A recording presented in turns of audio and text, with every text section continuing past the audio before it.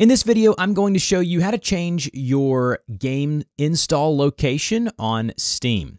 So what you want to do is open Steam, log into your account, and then in the upper left-hand corner where it says Steam, just click on Steam there to get to your settings. Scroll down and just click on Settings. Once here, you're going to see the sidebar here. We want to go to where you see Storage about midway down the page.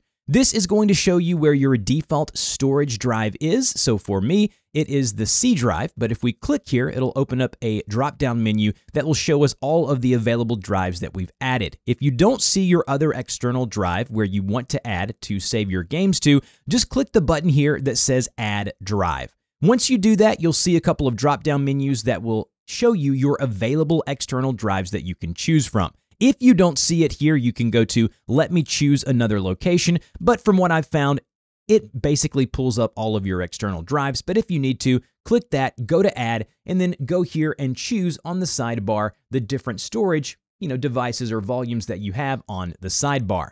Once you've done that, select the drive you want to add, and then just click the blue add button right there. Now when we come here to the storage tab, click the drop down menu, you will now see all of your external or internal drives that you've added as storage places for your games within Steam.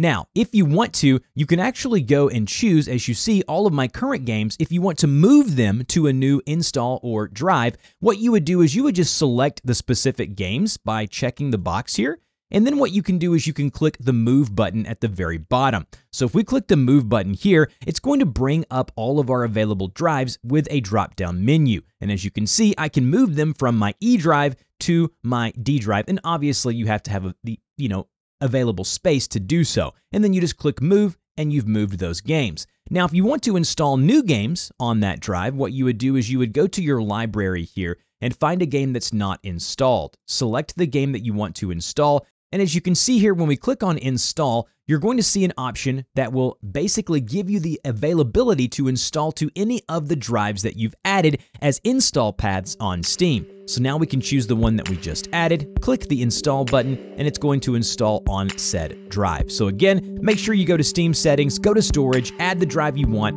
and you should be good to go. You have any questions, put those down below. There'll be a pinned FAQ section in the pinned comment down below, and we'll talk to you next time.